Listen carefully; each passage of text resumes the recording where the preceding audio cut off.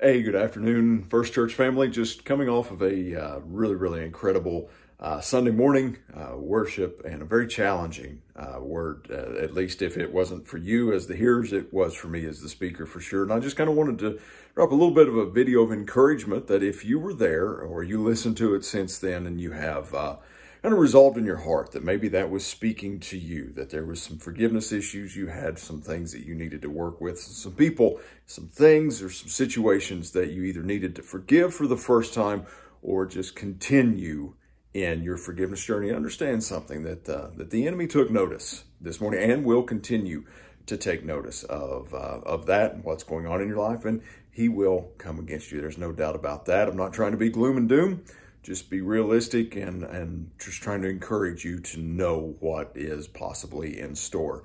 Uh, and that's when I want to encourage you just to continue to turn to the Lord because whenever we move from a realm of unforgiveness to forgiveness, the way that the Bible wants us to completely forgive, we move from the realm of natural into the supernatural. And the reason I say that is it is not natural for us to willingly and wantingly um, forgive because the way that the Bible describes it, it's not it's not pleasant. In our flesh, it's not something we want to do. So you're moving from the realm of the natural to the supernatural by forgiving others, forgiving situations, and totally and completely forgiving them as we're learning to do so through the Bible. So be encouraged, seek the face of God, don't get downcast, don't get downtrodden, don't throw up your hands and quit when resistance comes or these old wounds begin to resurface and start over again because there, there's a chance that they might.